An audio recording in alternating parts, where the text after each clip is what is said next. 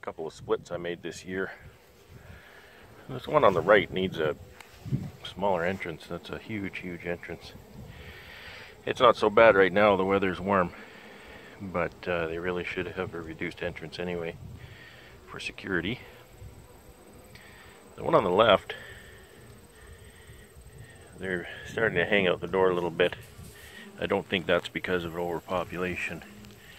Today is an extremely uh, humid day. It's not particularly warm, it's uh, only about 25 degrees, but the humidity is unreal. It's uh, closing in on 80% humidity out here. Not even sunny, and uh, it's very uncomfortable. I'll take it over 40 below though. So this one had a mated queen introduced recently. You can see the JZBZ cage there. And I'll have to check that for laying here pretty soon. Once I do, then I'll bolster that with some brood, move it up to 10 frames, and a honey box if they are so inclined. I think they are because they're probably full of honey right now. my first year using the mini mating nucs and I really like them. I don't have a very good marking system yet. So in here I've put one pin on the end of that box and the entrance is open so that tells me uh, that tells me that there's a a cell or an emerged virgin in there so I don't want to bother that too much. This one here, I have two pins and I also have a queen excluder entrance. And that tells me there's a mated queen in there. So here we have one that's showing a little bit of activity. It's got no pins, but it's got an open entrance. So that tells me that there's, uh, you know, there's a little colony in there that could be brood from uh, a queen that I took out and that is why I'm visiting here today because these little nucs like any hive can't stay queenless long. They start to have troubles. Laying worker troubles.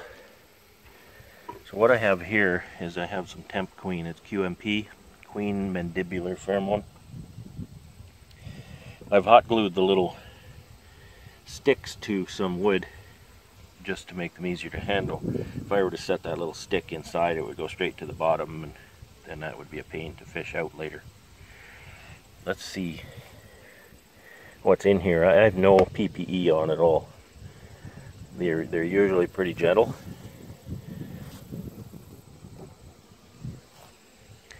So we can see a little cluster of bees.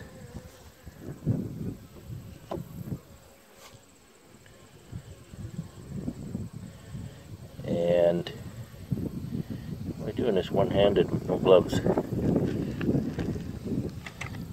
what do we have in here? We have larvae, so we've had a laying queen in here. But I would doubt I'm going to see any eggs. So again, I'll just take a quick check here. To make sure I'm not going to set a pheromone strip in a hive that has a queen.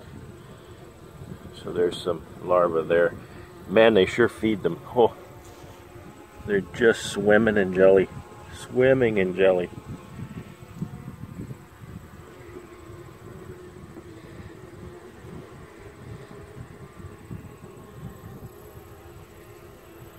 I had one of my minis, uh, well more than one, but I have one right now, has, uh, actually has a really nice queen cell going. So I decided I'm just going to let it emerge. We'll see what happens. So this pheromone strip, I don't know if they're attracted to it. Maybe they are. Oops. Let's take a look at that. They're rubbing it.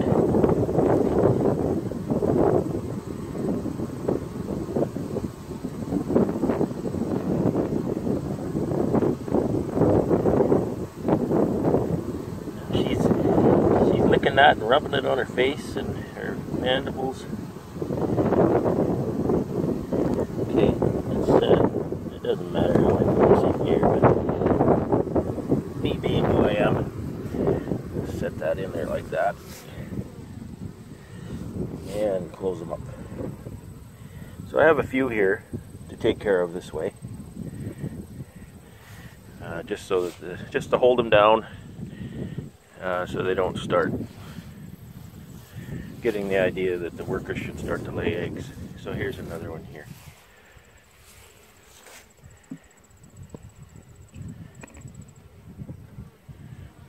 So, not really.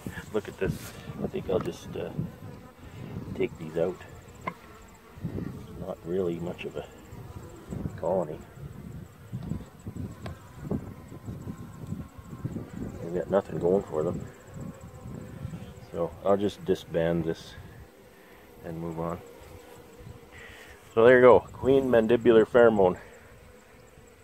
I think you can buy them at Mann Lake. I've had it quite a while. And I keep it in the freezer. Hopefully it's uh, still good. It's, I've had it for, boy, I've had it for years. Three or four years probably. Anyway, have a fun and stay safe and have a good day.